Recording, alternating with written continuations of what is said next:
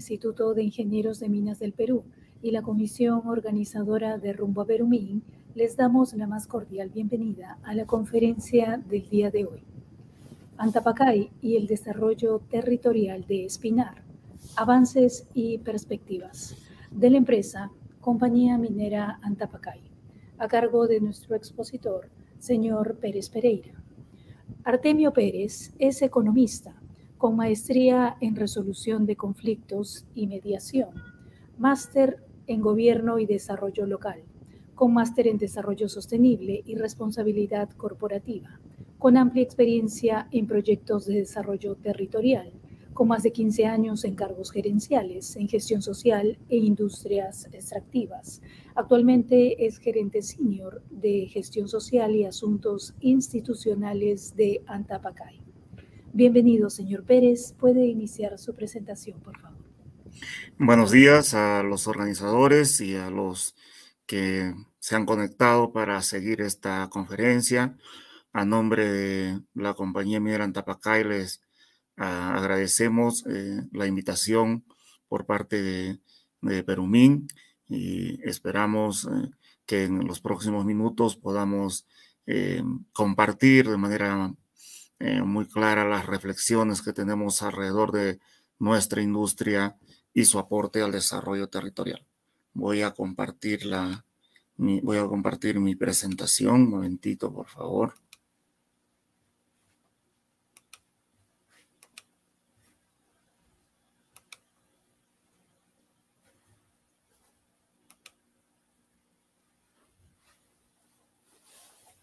¿Pueden ver mi pantalla?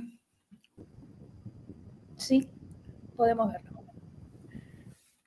Entonces empezaré explicando este, qué es Antapacay. Antapacay es una, una empresa mm, de gran minería, es uno de los principales productores de cobre en el, en el Perú.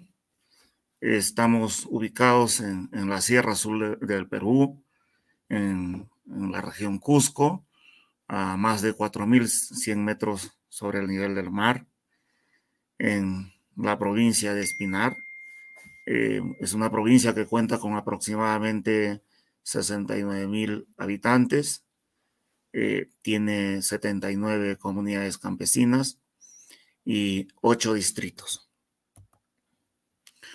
Eh, somos responsables de más del 8% de la producción nacional de cobre y nuestra operación inició en el año 2012, es decir, vamos por los 10 años de operación antes, eh, en esta misma zona, eh, hemos tenido la operación de Tintaya, inclusive eh, actualmente uno de, de, nuestras plantas, tenemos dos plantas, la de Antapacay y la otra que sigue este, procesando, que es de la antigua operación de Tintaya.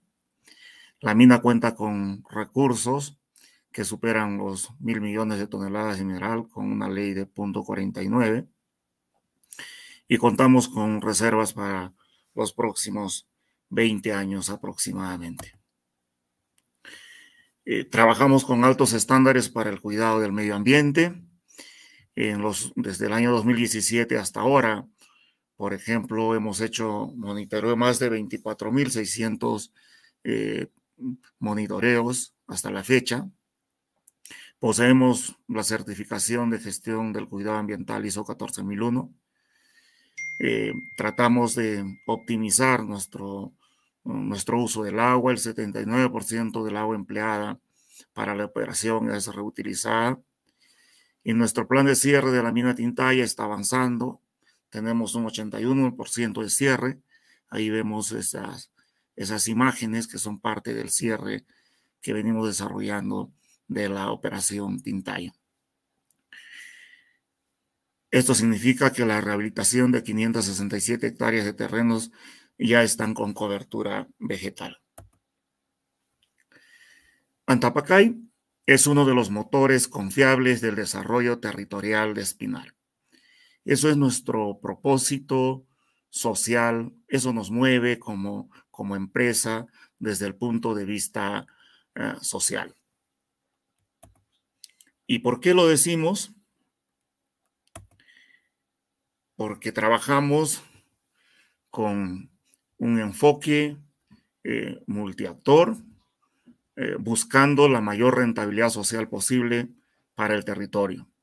Espinar tiene una agenda de desarrollo que tiene eh, estos ejes, competitividad provincial, equidad de género, calidad ambiental, agua, mejoramiento de la calidad de la educación y mejoramiento este, del acceso a la salud.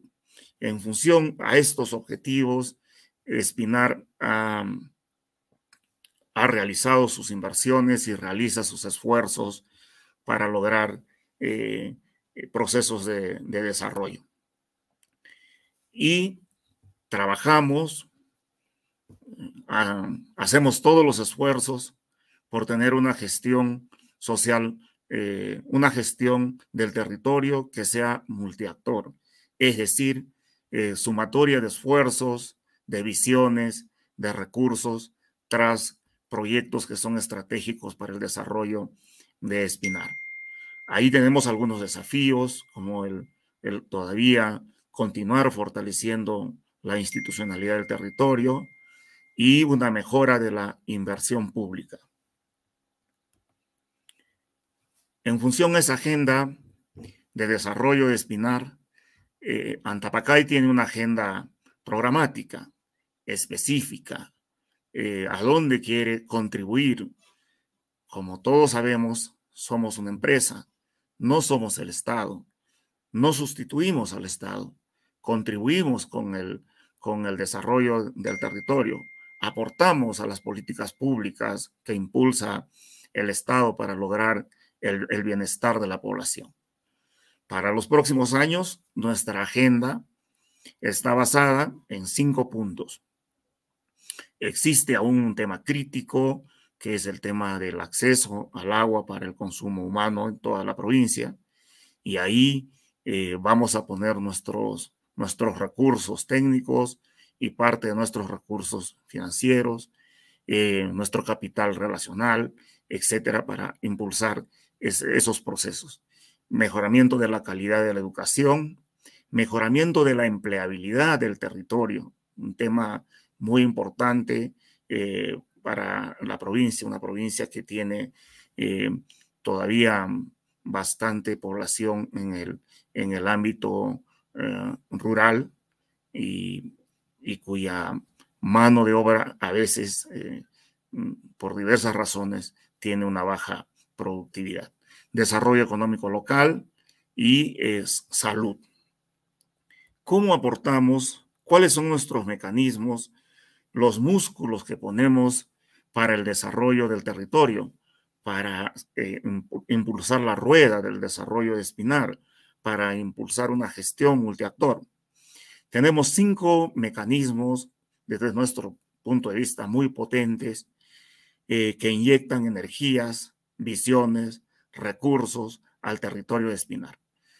Eh, tenemos por un lado el convenio marco, por otro lado convenios y acuerdos directos con, las comunidades que están más cercanas a la operación, un programa para el mejoramiento de la empleabilidad del territorio y de acceso al empleo en Antapacay, dos, líneas de trabajo, eh, el mecanismo de horas por impuestos que en estos momentos eh, estamos eh, construyendo una cartera potente para los próximos años y tenemos un programa de desarrollo de proveedores locales. Es muy importante para nosotros con estos cinco músculos que ponemos para contribuir al desarrollo de Espinar, eh, trabajar de manera concertada. Por ejemplo, el convenio marco es una plataforma de gestión multiactor en donde participan los gobiernos locales, tanto la provincial como representantes de los distritos, las organizaciones sociales de base y la empresa. Y allí se logran, eh, se acuerdan agendas y luego, en función a esa agenda, proyectos de desarrollo. En el caso de, este, de obras por impuestos, igual son proyectos eh, de carácter eh, multiactor. Para hacer un trabajo más focalizado en los últimos tiempos, también en nuestra gestión eh, interna, hemos empezado a desarrollar este enfoque multiactor basado en cuatro grandes anillos. La zona cero, que es esa zona que vemos en, en, amarillo, llamamos zona, zona cero a todas las comunidades pegadas a la operación, comunidades que en algún momento nos han brindado algunos de los recursos que tenían como comunidad, fundamentalmente tierra. Tenemos una cartera de trabajo con ellos, una agenda abierta y estamos impulsando en los últimos tiempos comités de desarrollo por cada una de estas, eh, de estas comunidades para tener una agenda proactiva y no solamente estar revisando cumplimiento de compromisos eh, del pasado. Luego tenemos el anillo 1, que son las comunidades eh, menos próximas, pero que, que, tienen algún tipo de contacto con algún componente externo de la operación. El anillo 2, que es la provincia de Espinar, en donde actúan los fondos del convenio marco. Y el anillo 3, que es la región eh, Cusco, a, quien contribuimos con nuestros impuestos y con algunas iniciativas que tienen que ver con causas sociales específicas, como por ejemplo en estos dos últimos años eh, estuvimos apoyando eh, el combate al COVID-19.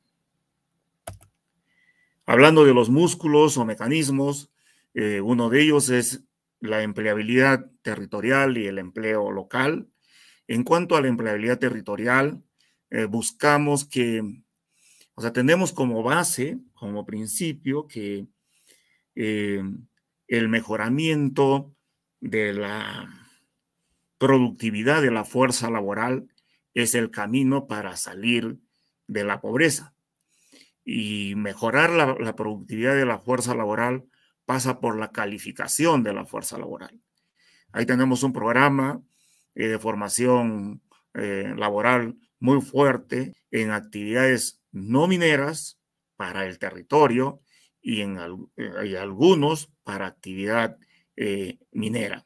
Por ejemplo, en el año 2021 eh, hemos tenido 184 personas que han sido formadas para trabajar como mano de obra calificada. Y tenemos un programa de becas de estudio en diversas carreras profesionales. En el año 2021 hemos tenido 177 becados. Y por otro lado, hacemos el esfuerzo para que cada vez existan mayores oportunidades de empleo eh, en la compañía, tanto empleo de, mano de obra calificada y no calificada, eh, mano de obra directa como en las empresas contratistas. Aquí vemos estadísticas en mano de obra ah, local eh, directa, cuánto ha sido este, este año vamos a mejorar esas cifras, año 22, tenemos un programa muy interesante para mejorar la mano de obra eh, directa. Y en el caso de, contratistas, ahí también vemos las, las, estadísticas de mano de obra este, calificada y mano de obra este, eh, no calificada. En resumen, eh, de 5.500 trabajadores que tenemos en estos momentos en, en Antapacay, más de 2.120 son de Espinar, que trabajan eh, y muchos de ellos vienen a trabajar y, vuelven. Eh, también usamos hoteles en Espinar que ayudan a, dinamizar la economía del territorio. Un cálculo a grosso modo eh, dos indicadores nos podrían dar ahí. Por un lado, un poco más de 40 millones de soles al año en salarios que llegan a, la provincia de Espinar. Por eso es que vemos un alto dinamismo comercial en esa zona. Y por otro, de acuerdo a diversos estudios, se dice que por un, una, una, un puesto de trabajo directo eh, se generan ocho de manera indirecta en el sector minero. Entonces, si multiplicamos los 2.000 por 8, eh, nos da una cifra eh, muy importante de empleo local eh, indirecto que también permite dinamizar la economía del territorio. Desde mi experiencia, yo puedo decir que este modelo es un modelo bien enraizado en la economía territorial. Vamos a ver el segundo mecanismo, proveeduría local. En proveeduría local tenemos un programa de desarrollo de proveedores. Los proveedores han pasado de hacer actividades menos complejas a actividades más complejas. Y así se va calificando a los proveedores locales. En el año 21 hemos hecho una facturación, o sea, se logró una facturación de 188 millones de soles. En el año 2016 fueron 116 eh, millones de soles. Pensamos que esto es otra, otro de los músculos con los cuales eh, este motor del, desarrollo territorial eh, aporta a la dinámica de Espinar. Aquí eh, podría ah, hablar de un ejemplo. Por ejemplo, el 80% del transporte de concentrados eh, de Antapacay se desarrolla, se realiza a través de empresas locales. El tercer mecanismo es obras por impuestos. Hasta ahora hemos desarrollado con este mecanismo um, inversiones por alrededor de 32.6 millones de soles y tenemos una cartera muy potente entre el año 22 y 23. Eh, uno de ellos es el agua y el desagüe de la provincia de Espinar, que está por alrededor de 295 eh, millones de soles. Es un proyecto ampliamente esperado por, por la población.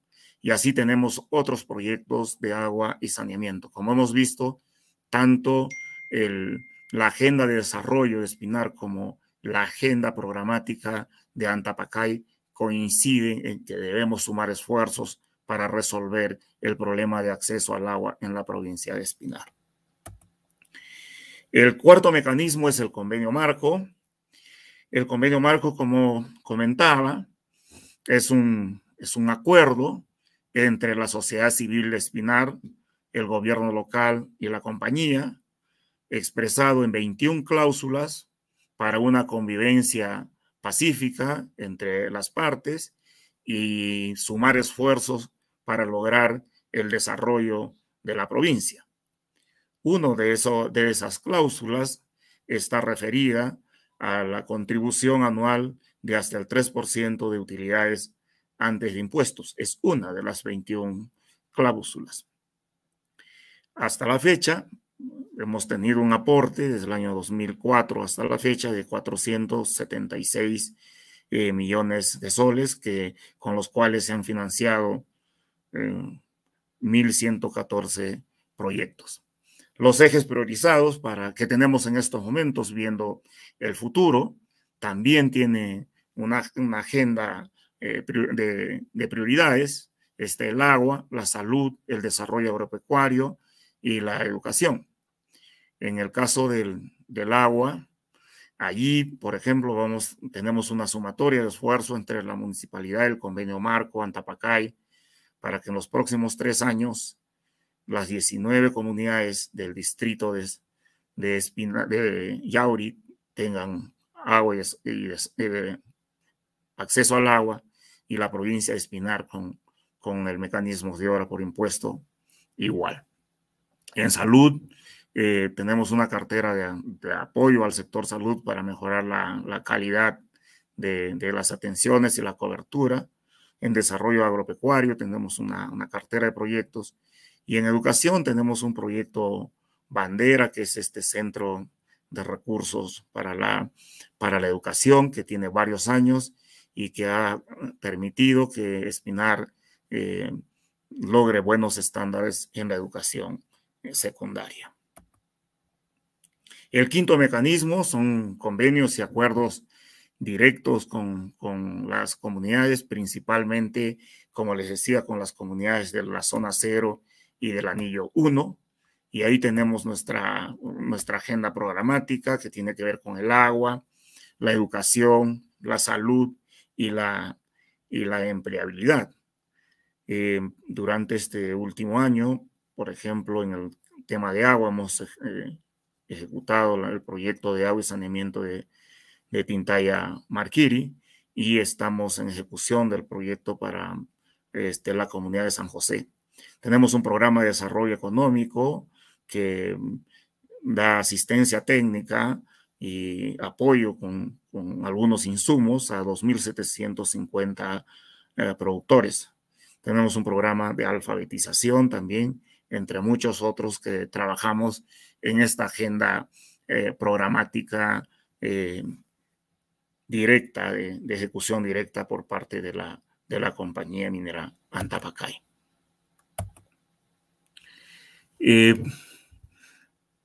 también aportamos recursos muy importantes al, país y a, la región. Eh, por ejemplo, en el tema de regalías mineras, desde el año 2013 a la fecha, eh, se ha aportado con 280 millones de dólares y impuesto a la renta que se traduce en canon. Solamente aquí el, aporte del canon, 475 millones de, dólares. Eh, es muy importante entonces, si tenemos, si venimos desarrollando todos eh, estos mecanismos, eh, contribuyendo a los esfuerzos que desarrollan las propias instituciones locales, como, el gobierno local, el gobierno regional y también los programas del gobierno nacional en la zona. es importante analizar qué ha pasado con Espinar en, los últimos años. Y aquí he traído solo algunos indicadores históricos para hacer un comparativo y hacer una reflexión. Esto no es una estadística de Antapacay, es una estadística del PNUD, del informe del IEH del año 2019. Si nosotros analizamos eh, Antapacay con sus, con sus vecinos y el Perú, el rojo es el, promedio nacional, el, celeste es, es, espinar. Sus vecinos son eh, Canas, Chumbivilcas, eh, Paruro. Espinar está mucho más arriba en, este indicador que tiene que ver con la educación, de, con los con la población de 18 años con educación completa, mucho más allá arriba, comparado desde el año 2000, 2003. Por otro lado, si vemos el ingreso per cápita, desde el año 2003, comparando también, Espinar tuvo una evolución positiva, acelerada durante estos, estos últimos años. Luego tenemos a Canas, que sigue igual, Paruro, que sigue igual, y Chumbivilcas, que sube a partir del 2012. ¿Y por qué sube Chumbivilcas a partir del 2012? Ya para ir entrando a la, a la reflexión. ¿Por qué sube Chumbivilcas el 2012? Porque ahí empieza la presencia de Hadway y existe una influencia también por el lado de las, de las bambas en los temas de, de oportunidades de empleo. Si analizamos estas dos estadísticas, entonces son provincias que partieron casi igual. Eh, entonces, ¿cuál es la diferencia entre estas provincias? ¿Qué motores económicos tienen igual y qué motor económico tienen que es diferente? Y la única explicación que encontramos es que en Espinar, desde el año 2003 y mucho antes, existía y existe la minería.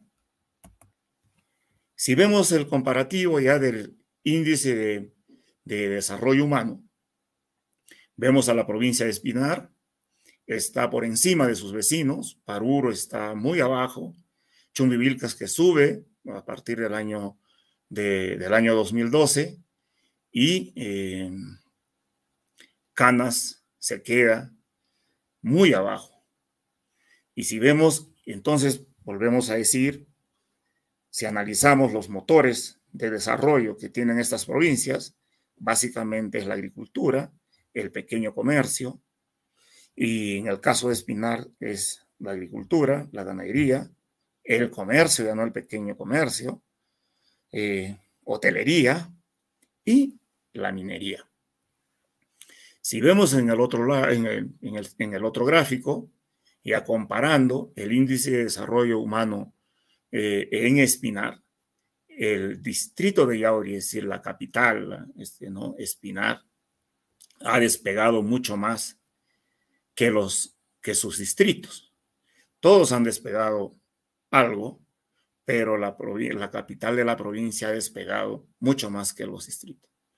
Y esto lo que quiere decir es que internamente necesitamos trabajar para que el desarrollo sea un poco más equitativo entre la capital y sus distritos.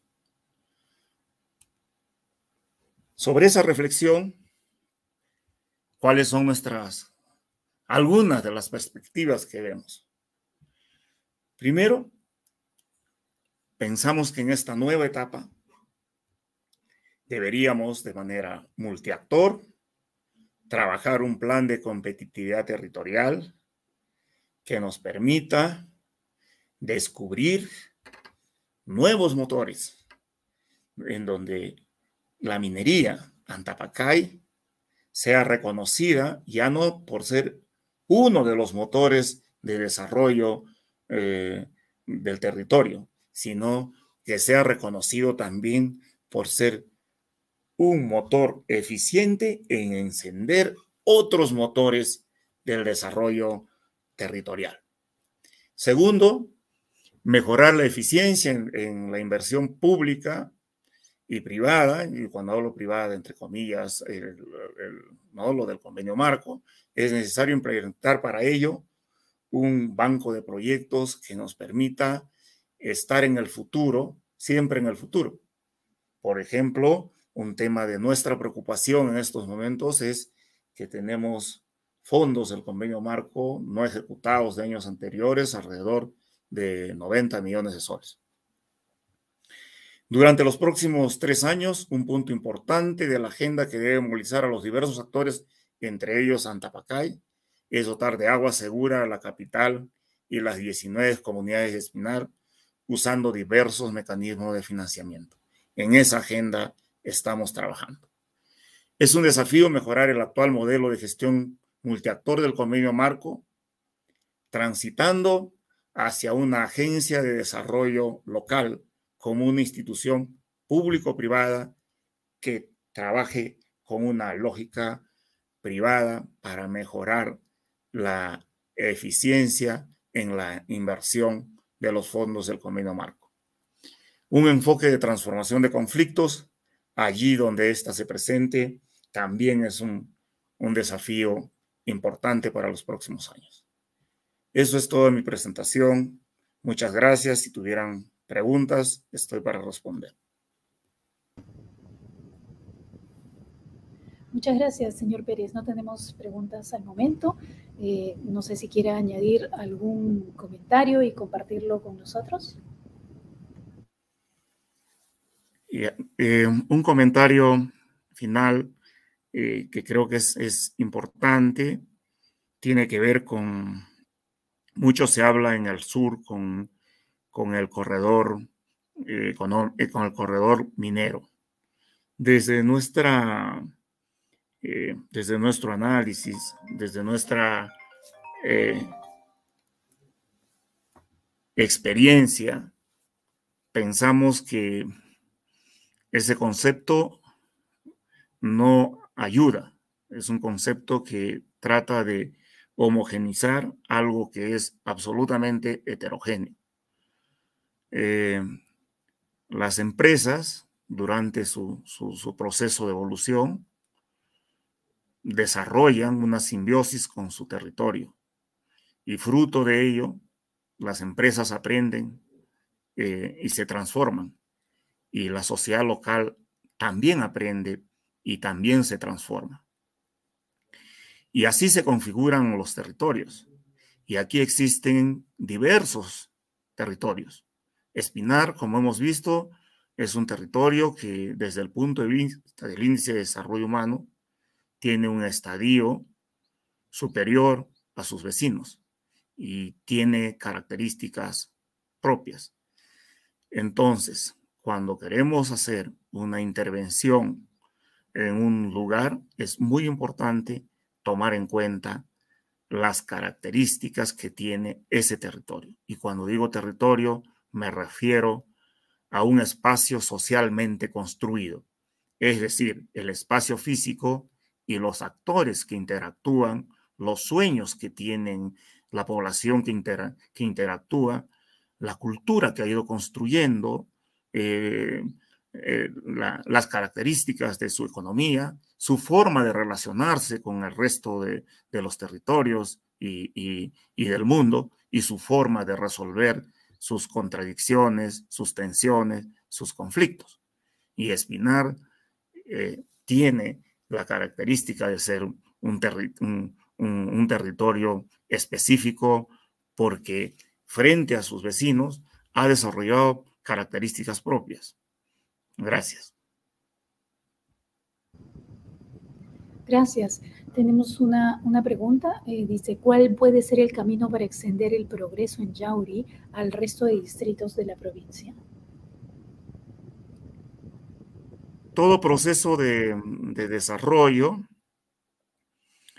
eh, tiene que partir de la base hacia arriba y no de arriba hacia abajo. Pensamos que si desarrollamos de manera participativa un plan de competitividad territorial, allí encontraremos respuestas pensadas entre todos para cerrar esas brechas entre Yauri y sus eh, distritos. No tenemos una, una, una receta desde Antapacay y no deberíamos de tenerlo. Por eso es que pensamos que es muy importante convocar a todos los actores para en esta nueva etapa tener ese plan de competitividad territorial. Gracias. otra pregunta, ¿el modelo de agencia puede ayudar a ellos sobre la base del plan de competitividad provincial propuesto? Em, es importante entender en estos momentos cómo funciona el convenio marco. El convenio marco funciona en base a una instancia en donde eh, la sociedad civil pone sus delegados, eh, la municipalidad pone sus delegados, la municipalidad provincial, los municipios distritales ponen sus delegados y Antapacay ponen sus delegados. Y ese comité de gestión se reúne, luego tienen un, este, un comité técnico y tienen un brazo de, técnico de apoyo. Entonces, funciona en base a reuniones, como si fuera un directorio. De esa manera está funcionando en estos momentos. Pensamos que ante los nuevos desafíos y los cuellos de botellas que se han tenido en la ejecución de los recursos del convenio marco, es insuficiente una, una estructura de esa naturaleza. Eh, construir una, agencia de desarrollo local le daría una, estructura institucional eh, mucho más, más fuerte y se podría tener allí eh, un mínimo de, recursos eh, pensando, diríamos, la, siempre la visión estratégica de, la provincia y, tratando de, multiplicar los recursos que existen en el, en el convenio marco. Por ello pensamos que debería ser parte de la agenda de discusión y eso es lo que vamos a plantear en los próximos meses a los actores de Espinar. Muchas gracias. Señor Artemio Pérez, en nombre del Instituto de Ingenieros de Minas del Perú y la comisión organizadora de Rumbo a Perumín, le agradecemos por su participación en la conferencia del día de hoy. Muchas gracias. A continuación, invitamos a todos los participantes a nuestra siguiente conferencia que iniciará en breve y estará a cargo de la empresa Visa Ingeniería de Proyectos. Hasta pronto.